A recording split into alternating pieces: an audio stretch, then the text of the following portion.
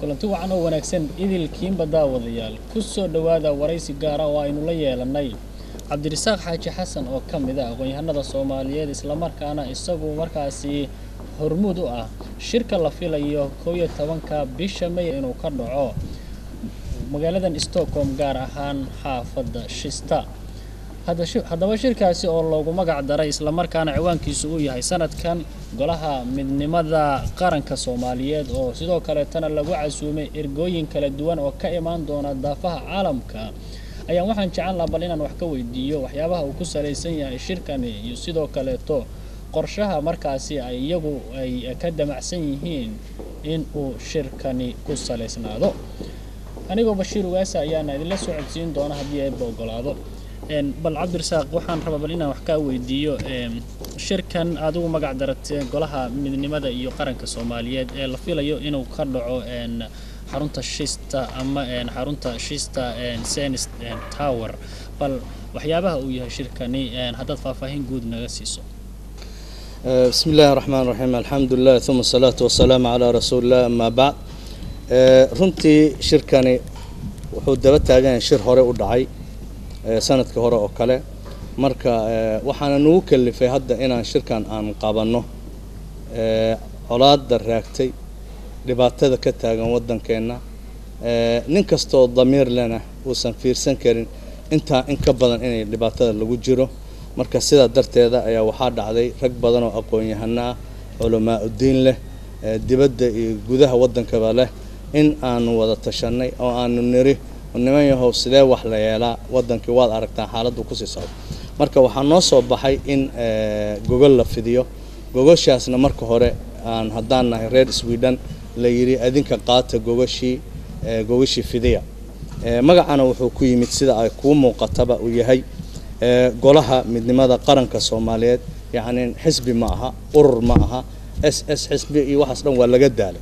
Marka golo waxaan ugu bixinay in wax allaala wixii mabda ah ee midayn kara horta soomaalida inay taas ka wada ay falanqeeyaan ay ka wada hadlaan waxa isu keeni kara ay tahay in wixay isku waafaqsan yihiin ay ka wada doodaanoo wax allaala wixii khilaaf ah ay meel iska dhigaan marka taasaa nagu kaliftay inaan ergooyinkaasoo dhan u yeerno. Insha allah waxaanu ilaahay idinkii ka rajaynaynaa in wax wanaagsan ay ka soo bixi doonaan waa taa ergooyinka aad ku casuunteen halkee ugu badan ayay ka imaanayaan yaadse ka xusi kartaan oo ka soo qaybgalaya shirka. Runtii meel badan baa laga imaanhayaa waxaa laga imaanhayaa shanta qaaradood oo adduunka ah. Yani africa hadday ahaan lahayd hadday ahaan lahayd america hadday ahaan lahayd australia hadday ahaan lahayd u k hadday ahaan lahayd yurub runtii meelo badan baa laga imaanhayaa yani meel kastaa laga imaanhayaa sida annaga anaga hadda aan hayno ama liistada aan hayno. Marka laga hadlo cabdirasaaq qaran soomaaliyeed waxaan is leeyahay adinku shirkan aad qabanaysaan waxa waxay u baahan tahay in la iswaafajiyo. Qofka wadaniga ee raba in uu dhibkan taagan ee daba dheeraaday dalkiisii dalkii iyo maxaa la yidhaha dadkiisii ka samata bixiyo. In loo baahan yahay qof qof wadaniya oo fahansan waxa ay tahay qarannimo. Adinku dadka aada xusheen maxaad ku xolateen ee shirka ka soo qaybgalaya runtii meeshaan saddex tiir ayaa aasaas inoo ah annaga. Waxaa marka ugu horeysa waxaa noo aasaas ah wax allaala wixii aan isku khilaafsannahay inaan meel iska dhigno wax allaala waxaan isku waafaqsannahayna inaan wax ku qabsano. Su'aasha ugu horeysa la isweydiin karaa waxay tahay maalan su'aal haddaan ku weydiyo ku idhaahdo hawiyadaadu maxay tahay? Yani idgaaga muxuu yahay maxaad igu jawaabaysaa soomaali haddaad. Waxaad igu jawaabaysaa muslim baana. Miyaan isku khilaafsanna. Jawaabtu waa maya. Nin kasta oo soomaaliya maanta haddaad tiraahdaa maxaad tahay muslim miyaad tahay mase ma tihid? Muslim baan ahay buu ku waa kow.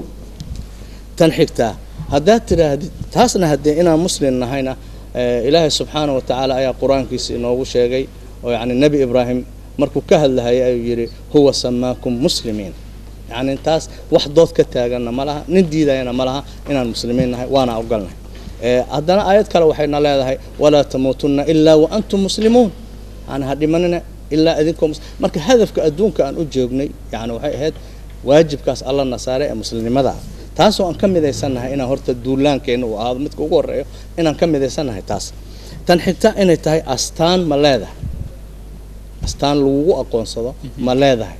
Haa wey jawaabteedu oo astaanteedu waa soomaali. Nin diidi karana ma laha.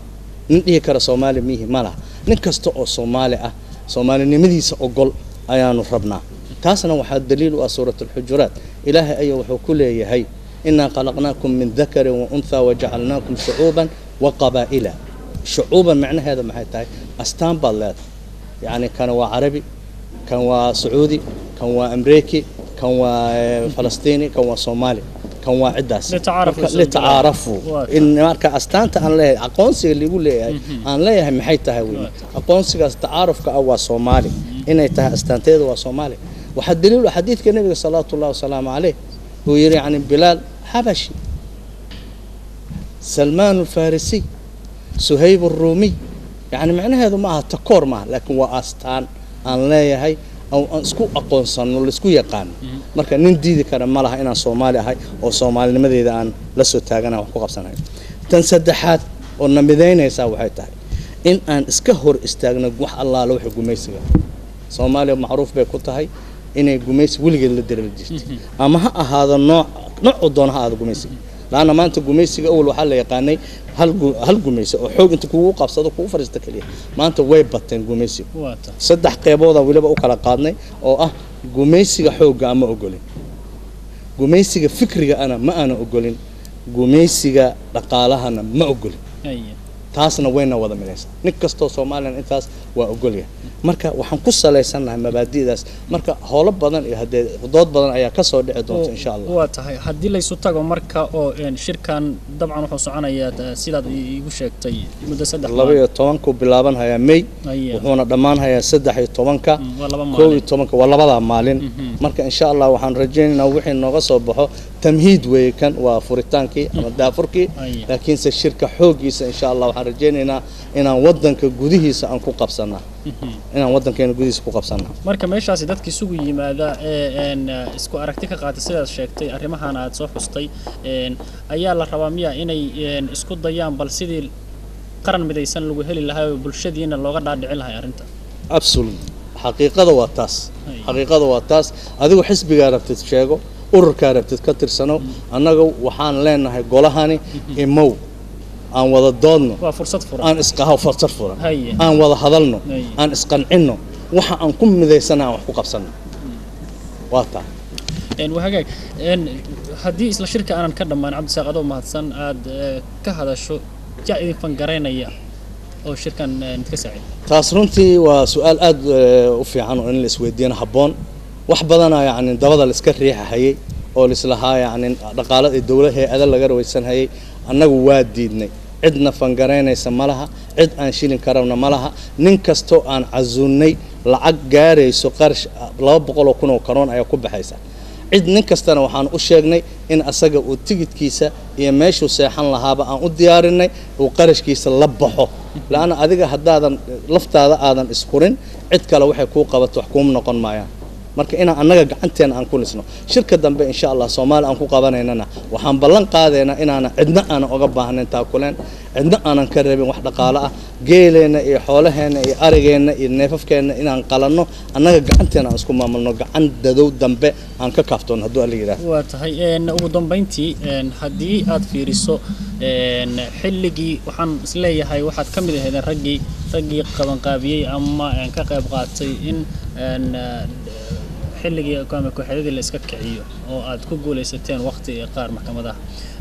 Haddana dabcan waxaad wadaan ood ka hadlaysaan waa sidii bal golo midaysan oo arrintan socota dhinacay uga istaagi lahaayeen in la helo. Marka taa markaad dib u fiirisid iyo middan hadda aad wadaan qorshahan muxuu noqon doonaa ma mid guud ahaan dadku ay dhibka taagan uga baxaana mise wuxuu ku dambayn doonaa halkii tii hore? Runtii ilaahay idinkiisa ilaah waxaan ka rajaynaynaa tii maxaakiimta runtii ilaa hadda dadka waa iloobi laayihiin waxay ku dhacdayna waxay ahayd ummad midaysan oo aan iskala soocin oo ishaysta ayay guushaas ku gaareen. Ilaahay subxaana tacaala kitaabkiisu noogu sheegay oo haddaan mar kale tafaaraaruq uu nagu dhacaa inaanan guul la helin.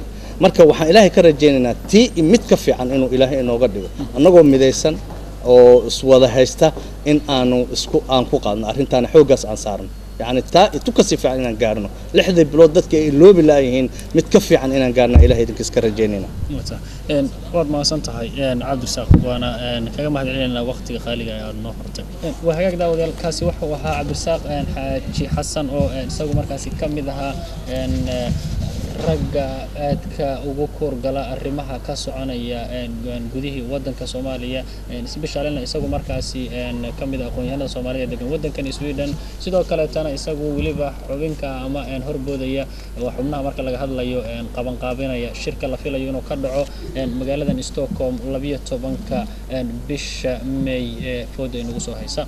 Waraysigani dabcan waxa aanu ku weydiinay bal waxyaabaha uu shirkaasi ku salaysan yahay sidoo kaleeto cidda ka soo qaybgalaysa iyo qorshaha ay ay rabaan in ay markaasi ku saleeyaan shirkan sanadkan ka dhici doono waddankan. Anigoo bashiira waa idinla socodsiinayay. Kulan dambe iyo amaanada